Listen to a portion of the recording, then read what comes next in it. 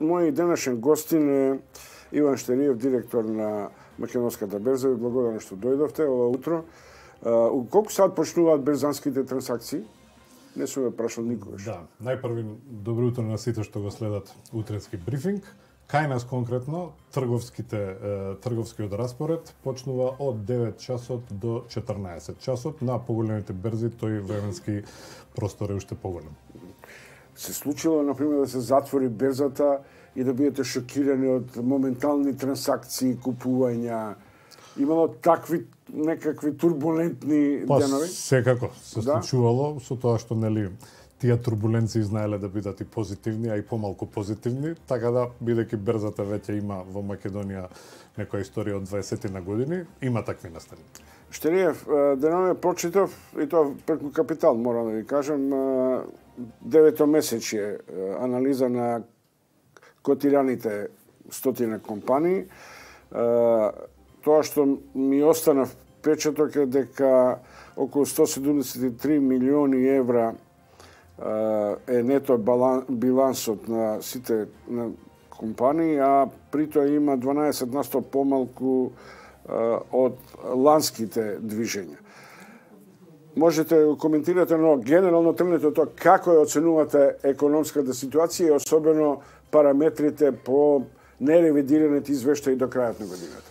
Па да, Со оглед на тоа што разговорот го правиме буквално на последниот ден од годината, можеме берзанската 2019 година да ја сумираме статистички, секако во тие рамки резултатите на котираните компании. Дозволете ми неколку бројки околу општото работење на берзата. Вкупниот промет на берзата во 2019 година надмина 125 милиони евра. Во тие рамки тргувањето со акции во без системот, така нареченото класично тргување, тоа е најбитниот показател, е некаде околу 62 милиони евра и Тоа неколку пати го изјавувавме годинава. Овие бројки се втори најдобри во последната деценија, така да 2019 година е една навистина солидна година. Вкупната вредност е да ги допреме котираните компании, значи вкупната пазарна капитализација на сите 100 котирани компании се наближи до некаде 3 милиарди евра, тоа е околу 25% од бруто домашниот производ и она што е најбитно, ценовните нивоа на акциите главни на во индексот МБИ 10, значи 10 најтргувани и најликвидни акции оваа година забележа дополнителен пораст од над 34%.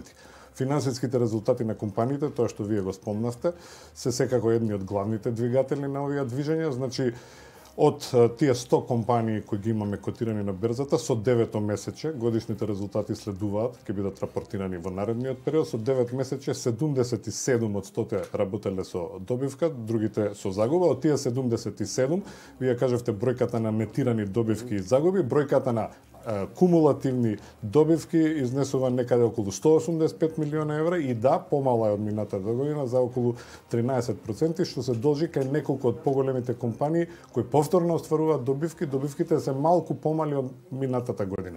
Но генерално фундаментите, работењето на главните компании се добри, воглавно беа исплатени пристојни дивидендни во смисла на овие ниски каматни стапки и во комбинација со оние позитивни неекономски, да речеме, перцепции на инвеститорите, тој пазарен сентимент е позитивен, овој раст на берзата од последниве неколку години продолжува и оваа година. Тука морам да направам паралела меѓу политиката и парите, ама од еден друг како.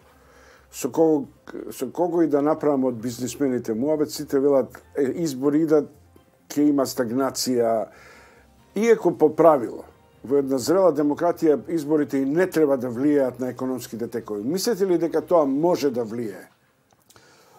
Па видите, на берзанските динамики и во многу поразвиени пазарни економии, ако сакате и во постабилни од политички аспект општества, изборите се секогаш фактор кој што влијаат на одлуките на инвеститорите. Во крајна линија, нели, се чека да се види кој ќе формира новата влада во предизборните кампањи, нели политичките партии излегуваат со свои концепти кои имаат врска и со фискалната и со макроекономската политика. Некои инвеститори тоа, тоа го перципираат како нешто што е добро, некои мислат дека може би тие потези нема да бидат така добри, така да тие инвеститорите на берзите секаде, еве во крајна линија се имаше во Велика Британија нели избори и така натаму, оваа година покренели нашите избори има на светско ниво битни избори како во Америка и така натаму. Значи инвеститорите во такви ситуации може да се случи да ги одложуваат своите инвестициски одлуки, но берзите и пазарите го дозволуваат и тоа, некои можат да се позиционираат и да се репозиционираат и од тоа да профитираат. Така да влијание избори секогаш имаат, но не мора само по себе да значи негативно за берзите зборува. И романот и филмот Брокер вели најважно е да ризикуваш тогаш кога никој не очекува а, на берзата. А, имаме ли ние, да речем условно таков а, шмек на проценка, на финансиски експерти кои вршат проценка кога е моментот што и како и од кого да се купи акција? Па добро, во јавноста и во економските медиуми веќе се профилираат некои да речем такви експерти советници, не е тоа толку распространето како како во другите земји, но веројатно на ниво на оние билатерални разговори помеѓу инвеститори, брокери, фонд менаџери, тие разговори се многу подетални и инвеститорите трнете еве и од себе кога би влегле во, во, во, во такви типови на вложувања, секако се советувате со некој што има сознанија и нели му верува верувате, па времето потоа го потврдува или не.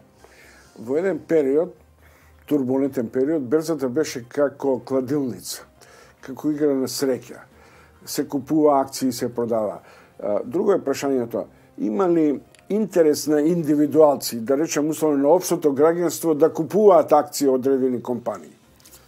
И на таков начин да затвараат, да речем, условно пари, наспроти штедните влогови, наспроти инвестицијските фондови. А има секако и статистиката тоа го покажува. Ние имаме еден континуиран пораст од куповната страна на прометот на македонска берза на учеството на домашните физички лица. Оваа година годишните ноемвриските бројки за декември уште ги чекаме од централниот опизатар, учеството на физички домашни лица е околу 44%, што е доста високо учество компаративно со по број или по висината на купените акции? Процент од вредноста што се свртила на берзата оваа година, така да во комбинација на овие многу ниски каматни стапки, глобално и локално, очигледно постои еден тренд и физичките лица се повеќе вишоците на своите средства да ги вложуваат во во акции, вклучително и во домашните акции на македонските компании на берзата околу кладилницата, тоа е една вака флоскула што се што се повторува. Да, доколку влезете во инвестирање без анализи, прифаќајќи непримерно високи ризици, може би тоа да наликува на нешто такво, но тоа не е препорачливо и има уште една голема разлика кога одите во кладилница, завршува надпреварот и вие или добивате или губите. На берзата надпреварот трае така да и да дојде до некои негативни осцилации на цените, ако сте ја одбрале вистинската компанија, после некое време добивате. А редки се, но имаше случај на така речено непријателско преземање на компаниите. До пред две-три години тоа беше случајот со Макпетрол. Има мирисате ли такви таква атмосфера на можноста на, на непријателско преземање на компаниите во Македонија преку берзанските игри. Па да, добро, може би прво така кратка една дефиниција што е непријателско превземање, бидејќи нели во јавноста и имало разноразни толкувања по литература и во пракса и на развиените пазари непријателско превземање е кога актуелниот менеджмент во компанијата на некој начин има отпор и не е склон кон промена на доминантниот собственик и нели не соработува, не дава податоци за анализа на компанијата и така натаму. Сега во моментот да има некаква таква тековна да речеме ситуација на нашиот пазар нема и тие генерално приказни околу превземања и пријателски, особено непријателски, по друга страна влијаат многу на динамиката на тргување на сите берзи. Ако се сеќавате пред повеќе од 10 на години во Хрватска на пример кога се продаваше плива, тука имаше така да тоа непријателско превземање може да се анализира од разни аспекти.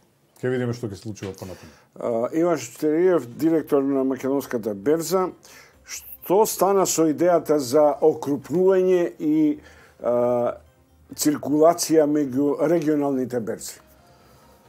Па тоа е актуелно Историски било актуелно повеќе, па потоа после оние светски економски кризи и хибернацијата на, на сите пазари, вклучително и регионалните, тоа отиде малку под радар, но се работеше на тоа.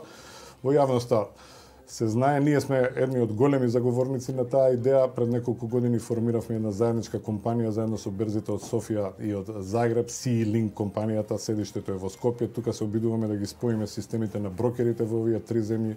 Уште четири држави пристапија кон тоа Словенија, Босна и Херцеговина, Србија и така натаму. Неминовно е таа регионализација, автономните фактори за развој на овие пазари во целиот регион се овие што ги имаме, така да мораме да одиме чекор понатаму и е, тоа го поддржува многу и Европската банка за обнова и развој. Силинг проектот е, тече, не се откажуваме од него, тој дава не само директни, е, да речеме, импакти, има спорадични трансакции, не многу, тоа и очекувавме, но имаме подршка поради тоа од Европска банка, кој што реков за разни други проекти. Нашата визибилност, особено на македонска берза, бидејќи седиштето на компанија овде и ние сме најмалија берза во регионот на мали берзи со ова стана многу повисока. Визибилноста еве неодамна и Загребачката берза купи определен процент на акции во нашата берза и таа е малцински акционер, така да ова ќе продолжи и ќе се катализира понатаму како регионализација на пазарите. Кратко околу банкарскиот импут на движењата, ако продолжиме тоа може да биде голема тема, но Како го толкувате фактот дека двајца бизнисмени од градишната сфера, Етеми и Чифлиганец, се решија на прилично офанзивно преземање и купување на акции од комерцијална банка, да стана до степен доминантни поединечни акционери? Па најпрвен еден коментар во смисла на тоа, ова е една од обштествените придобивки кога некоја компанија е котирана на берза, значи конкретно комерцијална банка е котирана компанија, па сите овие трансакции тие се должни да ги обелоденат, па јавноста да ги знае, па еве сега ги коментираме. Постојат на банки и компании кои не се котирани, за нив не ни знаеме што се случува во собственичката структура.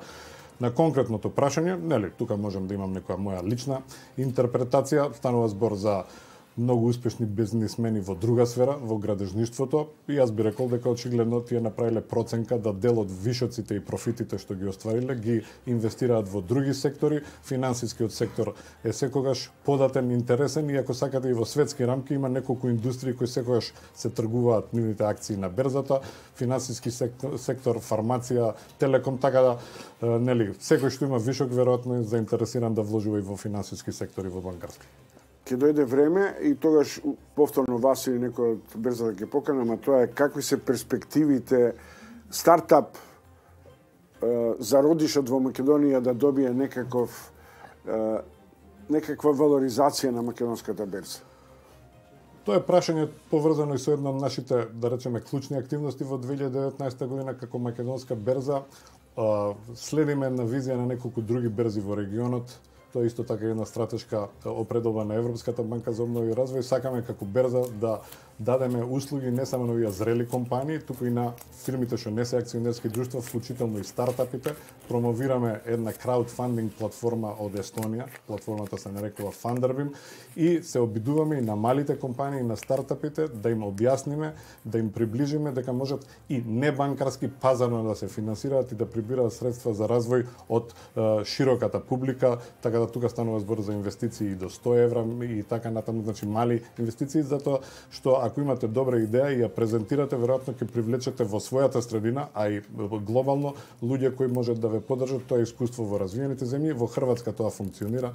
Таму веќе 8 кампањи се направени, собрани се околу 5 милиони евра, што за овие мали компании не е мала бројка, така да 2020 се надеваме на прва успешна кампања и од стартапи поддржана индиректно од Македонска берза. И благодарам за гостувањето во утрински брифинг. Тоа беше Иван Штариев, директор на Македонската берза. Блиско ни е ке ке котирате и во утрински брифинг. Во секое време ние сме транспарентни, тоа да. сме. Да. Благодарам.